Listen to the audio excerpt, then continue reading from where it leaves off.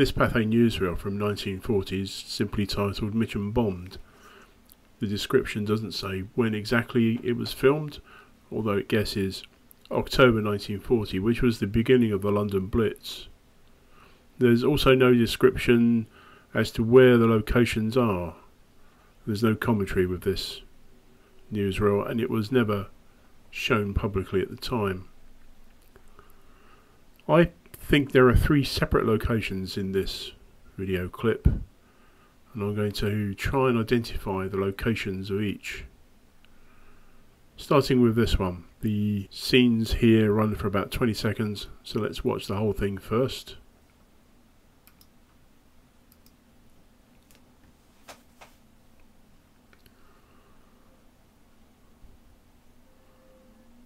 One or two houses in this terrace destroyed.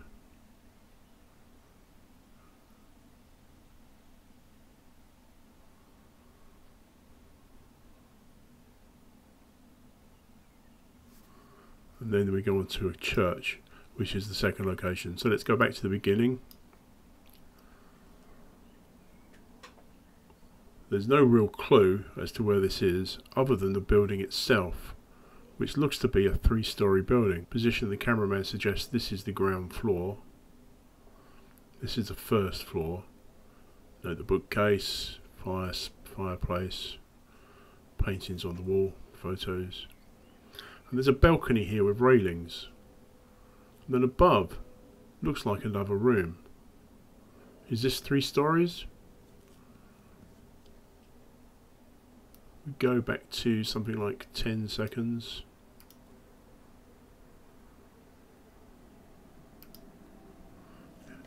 It shows the building from a bit further away. We can see that this top floor is contained within the roof structure. Sort of thing that's similar to a mansard roof. Sort of thing you might see in France, in Paris perhaps. Let's have a look at Wikipedia.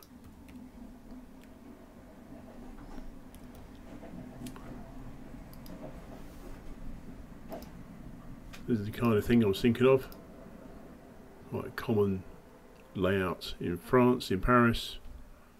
That looks like the roof line but there is in fact another floor on the top with these dormer windows. Can we say that here? Well, we can see that there is a room within the confines of the roof. There's a fireplace underneath the chimney stacks. Now, there are not many places in Mitcham that were built like this. In terms of three-storey buildings, there are a few. I could think of the Barclays Bank building on the corner of Lower Green West and London Road, but that is not this type of structure. I was thinking perhaps the Tooting end of Figges Marsh. Let's have a look at Google Maps. I have in mind this block here.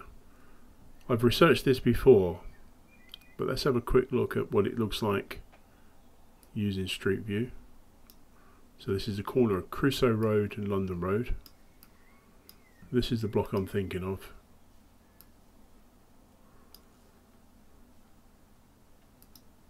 So we can see it has a balcony, railings.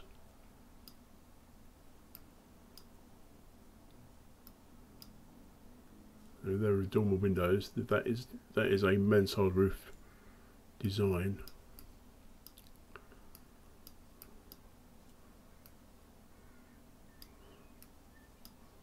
the initial problem I have with this concept, this possibility, is this overhanging section here. We go back to the first clip. There is no overhanging section.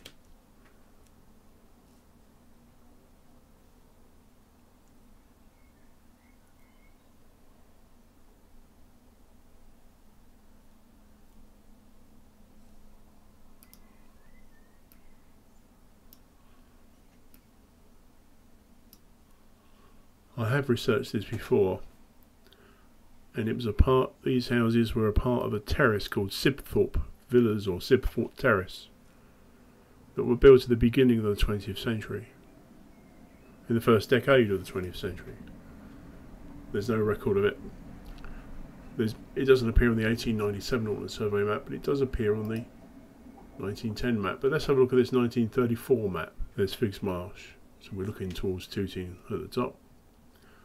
Swains Road, Pitcairn Road, Crusoe Road. That's where we were just now with the street view. Now let's look at the 1949 view. And here we see there is no terrace on the corner of Pitcairn and London Road or between Swains Road and Pitcairn Road and there's a fair amount of Pitcairn Road itself missing. Now Merton Memories have got some photographs of bomb damage to Pitcairn Road and this entry on the Merton Memories site says this is one of a number of houses demolished by a bomb in Pitcairn Road.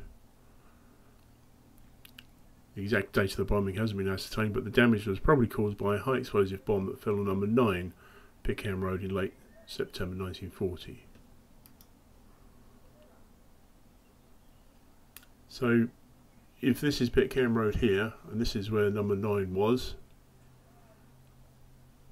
could that wall be similar to our wall there, but further down there.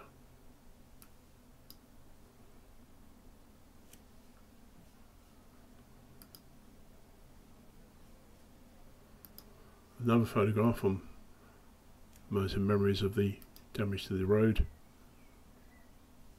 These are houses in Pitcairn Road. Now, in addition, there's another image on Merton Memories of a garage in the London Road.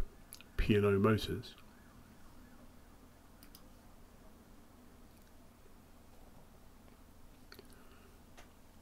I'm not an expert, but this doesn't look like a direct hit because the cars are intact. This looks like an explosion nearby which has pulled off the roof and the superstructure of the building. And the Merton Memory site refers to this as number 66 London Road. So if we go back to our map from 1949, there's the garage, which Merton Memory says number 66. Here's the hutments that have been put in place for housing the homeless, and this part of the terrace is gone. So what I've done is I've copied the outline of each house and moved it across to this view to show you where the numbers were. So that garage is 66, 68, 70, 72, 74, 76. Pitcairn Road, 78, 80, 82. So the theory is that this is either number 76 or perhaps 74 and 76.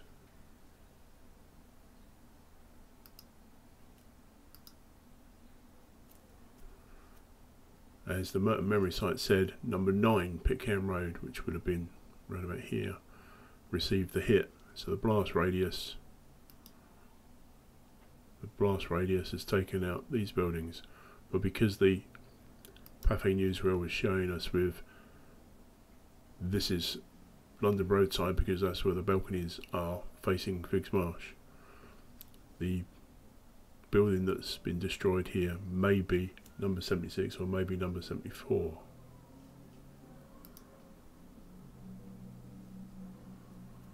Or all three. So the next thing to do is to look at the list of civilian deaths for World War II and that's available on Ancestry.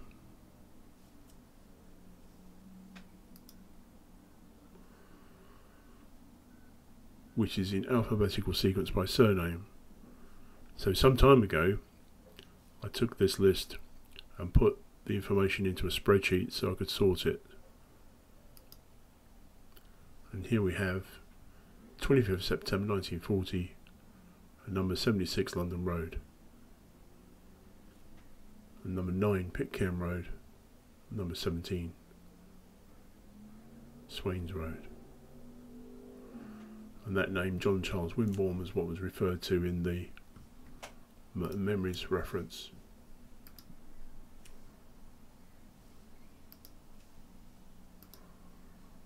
Here.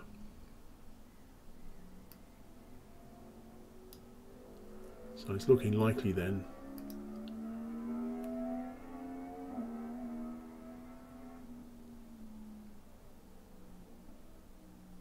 that a high explosive bomb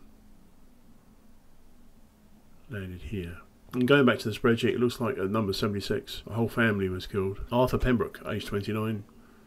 Chrissy Constance Kathleen Pembroke, age 27. Jean Margaret Pembroke, age 5 and Terence Arthur Pembroke, age 4. So it could be that one.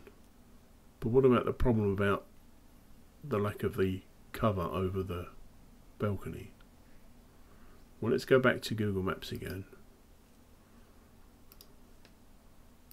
This time, let's have a look at the end of the currently current existing terrace because there's a clue there. So there's Figges Marsh. That block of flats was built where part of the terrace was destroyed and demolished. These houses were built where that part of the terrace was destroyed. And now we can see the profile of the end of the Sibthorp Villas, the Sibthorp Terrace. And I think the solution to my problem about the lack of a canopy is that the layout of the building appears to be shown here this part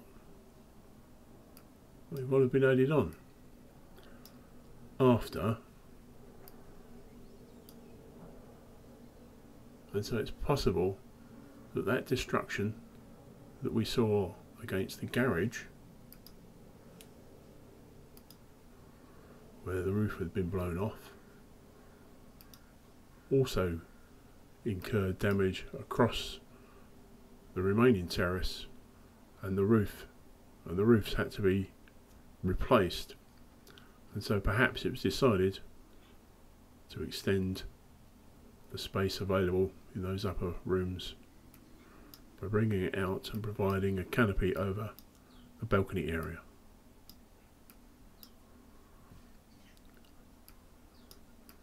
And that's just a theory, but it's possible.